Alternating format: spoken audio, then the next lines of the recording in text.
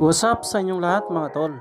Naalala niyo pa ba at nakilala si Charlene Gonzalez na naging leading lady rin ni Idol Robin sa mga pelikula niya? Sa bidyong ito mga tol, alamin natin ang kwento ng kanyang buhay at kukumustahin natin kung anong meron na siyang buhay ngayon.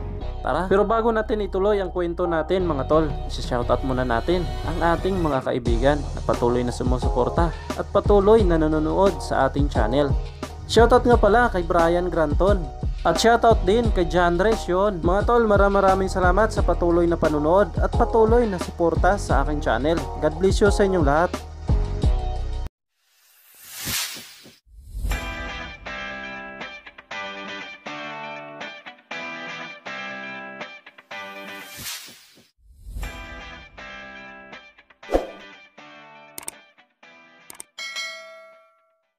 Si Charlene May Gonzales, Bonin Mulak, kung nakilala natin bilang si Charlene Gonzales, ay ipinanganak noong May 1, 1974. Lumaki at ipinanganak siya sa Quezon City. Si Charlene ay anak ng isang aktor na si Bernard Bonin at ang kanyang ina na isang model din noon na si Elvira Gonzales. Nakilala si Charlene Gonzales bilang Filipino actress, TV host, film personality, at isang beauty queen. Pero bago na mayagpag ang pangalan ni Charlene Gonzalez sa showbiz, ay nakilala na sa noon bilang isang Miss Universe. Nanalo si Charlene Gonzalez at naiuwi niya ang title na Binibining Pilipinas Universe noong 1994. Naipanalo din ni Charlene Gonzalez ang National Costume Award pero sa kasamang palad ay umabot lang ng top 6 finalist si Charlene Gonzalez noon. Ginanap pa nga noon ang pageant ng Miss Universe sa Maynila. Naging controversial pa nga noon ang pagsagot ni Charlene Gonzalez sa isang host ng Miss Universe pageant ng kanyang sinalian. At pinangalanan pa nga noon si Charlene Gonzalez na the one of the most famous answer in an international beauty queen competition. Dahil sa itinanong siya noon ng host pageant na kung ilan ba lahat ang islands ng Pilipinas. At direksahan sinagot naman ni Charlene Gonzalez na high o low tide.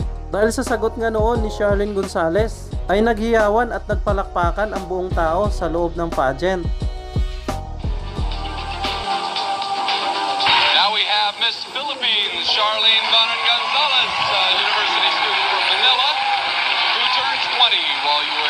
pageant. Happy birthday to you, first of all. Thank you so much. Now, being in pageants is kind of a legacy for you, too, right?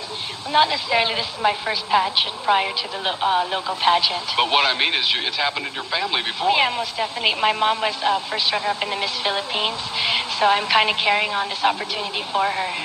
Now, she sort of parlayed that uh, first runner-up uh, in the Philippines into an acting career. Is that what you plan on doing? Um, well, actually, I'm part-time acting right now, but it's just so I could put my foot in the water and try different fields of my life. Is that what you want to end up doing, though, you think? Um, eventually, I want to pursue my career and become a doctor and eventually a surgeon. That's my biggest dream in my life. Okay. Now, we have been we have been videotaping all over this country, and if there is one thing that I have learned, you guys have a bunch of islands here. How many islands are in the Philippines? High tide or low tide?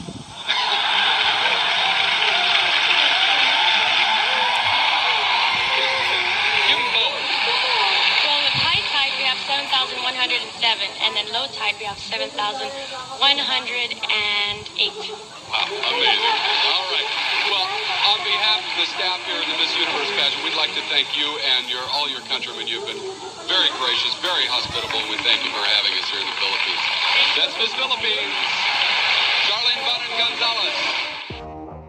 Simula noong sumali si Charlene Gonzalez sa Miss Universe pageant, ay doon na umusbong at namayagpag ang kanyang pangalan sa showbiz para makagawa siya ng maraming pelikula. At yun rin ang daan para mapasama at mapabilang siya sa mga action movie at makatambalan niya ang mga action star pagdating sa mga action movie. Katulad na lang ni Daking Fernando Po Jr. sa pelikulang Ipimako Bilasco NBI noong 1994 na pinakauna-unahang ginawa ni Charlene Gonzalez na pelikula. Naging katambalan niya naman si Ramon Bong Revilla Jr. sa pelikulang Bien Dilobio noong 1998. Naging katambalan niya rin si Philip Salvador sa pelikulang Risback noong 1998.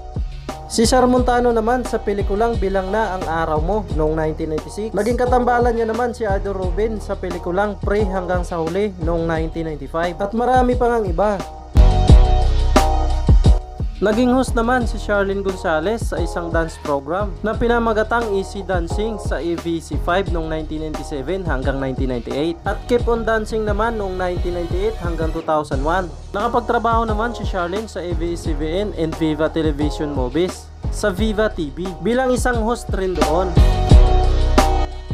Noong May 28, 2001 ay nagpakasal naman si Charlene Gonzalez kay Aga Molak. At nagkaroon nga sila ng kambal na anak na ipinanganak noong November 5, 2001 na sina Andres at Atasha na ngayon ay parehong dalaga at binata na.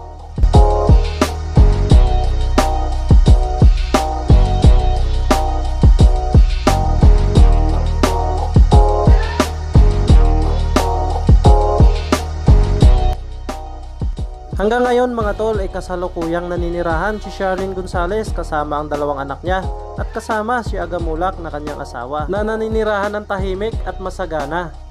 Naging aktibo rin si Charlene Gonzalez sa mga social media account niya. Katulad na lang ng kanyang Instagram account na sa katunayan ay palagi nga itong nag-upload tungkol sa kanyang pamilya at kung anong meron na siyang buhay ngayon. Samantala mga tol, kahit 46 years old na, itong si Charlene Gonzalez ay napanatili niyang pagandahin ng kanyang katawan, pati na rin ang kutis nito, na imbis tumatanda ay tila bumabalik pa nga ito sa kanyang pagkabata. Kaya nga hanggang ngayon mga tol ay maraming mga netizen ang napahanga at napabilib sa kanya.